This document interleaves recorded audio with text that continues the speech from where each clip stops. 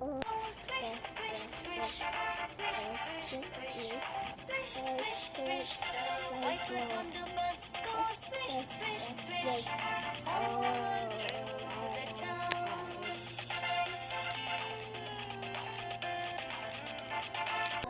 people down there. I would never ever do that.